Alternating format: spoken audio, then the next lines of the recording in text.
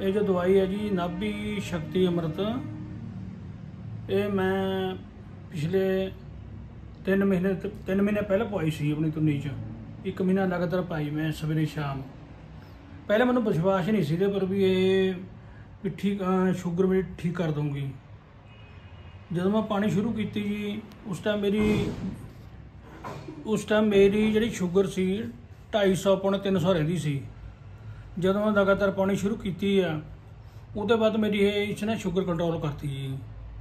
ਹੁਣ ਮੇਰੀ ਜਿਹੜੀ ਆਪਣੀ ਸ਼ੂਗਰ ਆ 150 ਖਾਣਾ ਖਾ ਕੇ ਪੌਣੇ 200 ਤੱਕ ਰਹਿੰਦੀ ਹੈ ਜੀ। ਕਿਹੜਾ ਪਿੰਡ ਹੈ ਜੀ? ਮੇਰਾ ਪਿੰਡ ਚੱਕਟੇਰਾ ਹੈ। ਵੈਸੇ ਮੈਂ ਇੱਥੇ ਲੋਕਲੀ ਮੇਰੇ ਸਾਡਾ ਆਪਣੀ ਇਹ ਸਾਡੀ ਸਾਡੀ ਬਿਲਡਿੰਗ ਜਿੱਥੇ ਕਿਰਾਏ ਦਿੱਤੀ ਹੋਈ ਆ। ਹਾਂਜੀ। ਤੇ ਮੈਨੂੰ ਪਹਿਲਾਂ ਬਿਲਕੁਲ ਵਿਸ਼ਵਾਸ ਨਹੀਂ ਸੀ। ਮੈਂ ਕਿਹਾ ਵੀ ਇਹ ਨਹੀਂ ਠੀਕ ਨਹੀਂ ਹੋ ਸਕਦਾ। ਲੇਕਿਨ ਮੈਂ ਇਹਦੇ ਕੋਲ ਬਹੁਤ ਚੰਗੀ ਤਰ੍ਹਾਂ ਠੀਕ ਹੋ ਗਿਆ ਜੀ ਇਹ ਪਾਉਣ ਨਾਲ। ਤੇ ਹੁਣ ਵੈਸੇ ਮੈਂ ਦਵਾਈ ਬੰਦ ਕੀਤੀ ਹੋਈ ਹੈ ਇਹ ਪਾਉਣੀ। ਤੇ ਹਲੇ ਮੈਨੂੰ ਕੋਈ ਪ੍ਰੋਬਲਮ ਨਹੀਂ, ਜਦੋਂ ਪ੍ਰੋਬਲਮ ਹੋਈ ਫਿਰ ਪਾਉਣੀ ਸ਼ੁਰੂ ਕਰਾਂਗੇ ਜੀ।